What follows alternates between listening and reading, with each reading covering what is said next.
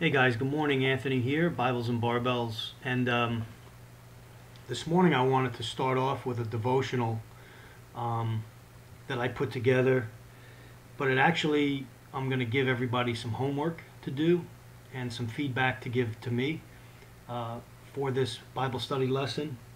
It focuses on the Beatitudes, which you could find in the book of Matthew, um, beginning in chapter 5, verses 1 through 12. It's also uh, the Beatitudes listed in Luke.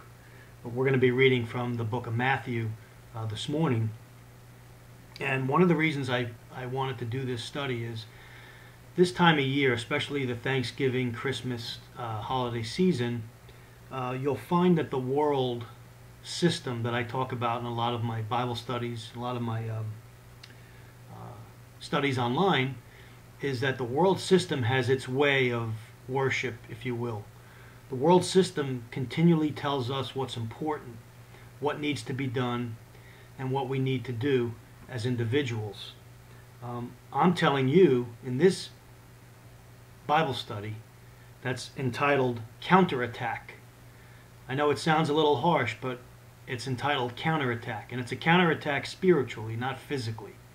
Um, so what we have to do, and what we're going to be called to do, is to live counterculturally to what the world says. The world's going to say one thing, the world system's going to say one thing, and we as Christians are going to say what Jesus said, the right thing.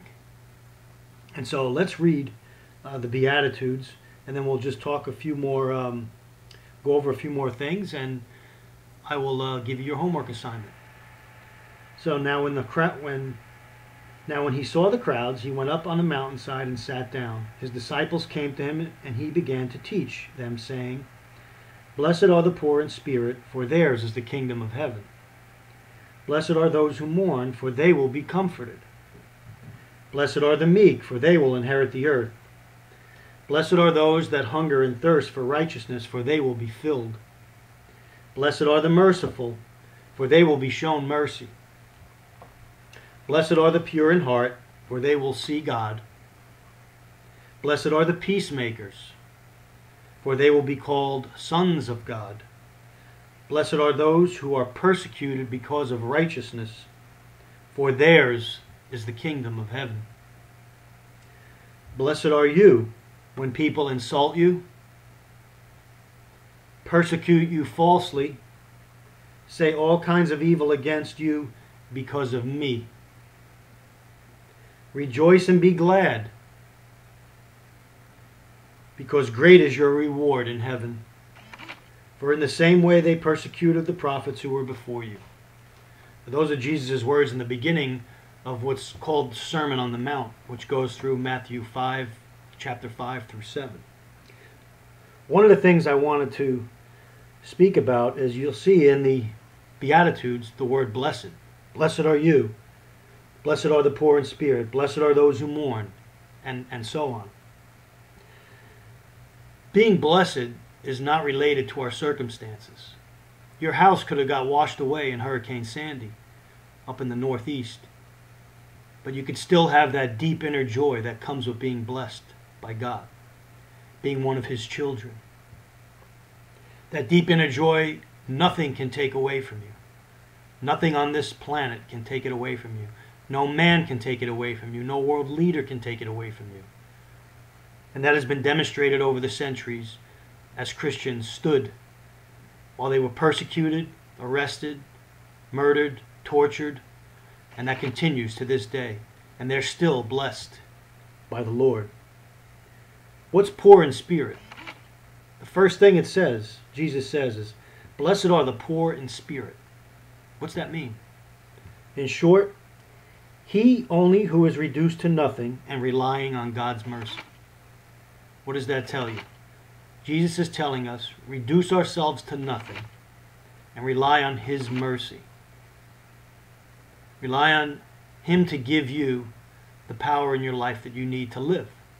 Rely on His grace, His mercy, and His peace.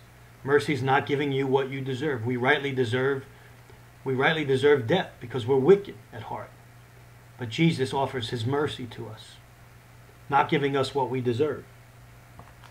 You'll also see that in Isaiah 61, verse 1. And remember, the Beatitudes are not directions. It's not do this, do this, do this. It's not works. The, the Beatitudes, what Jesus is saying here, are descriptions of those that follow him. They're descriptions that will pick you out in a crowd, that those around you that are not Christians will see something different about you because of what you are in Christ. And so, my goal today was to get people to rely on Jesus and not on what the world offers. And one of the assignments I wanted to give is if you respond with a comment, respond to something that the world system is offering right now or telling people what they need to do with regard to anything. I'll give you an example. Um, the world system tells us that um, a baby in the womb is just a clump of cells, and they don't describe it as a human fetus. That's the world system telling you that.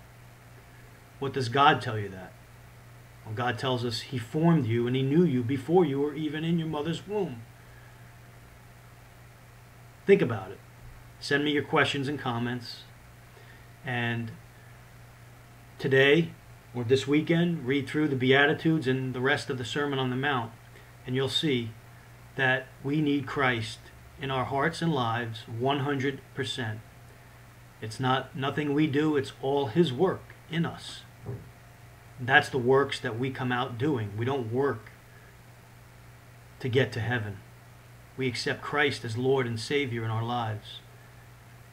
And He gives us, He's prepared us for work, for good works of service, to show who we are in Him. So remember that today as we close. Dear Heavenly Father, we thank you for this study. We thank you for your word. Father, I pray that uh, we get many comments and uh, also questions, Father, on what the world system is telling people what they need to do.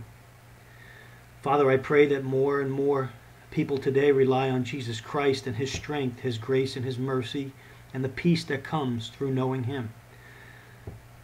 Father, bless each individual that watches this video. Bless our great country. Bless this world, Father, that you have given us and you have created that we may give thanks to you in all circumstances, Father, and call ourselves blessed no matter what the world throws at us. And I pray this in Jesus' name. Amen. Thank you for joining me this morning, and God bless you, and looking forward to your comments.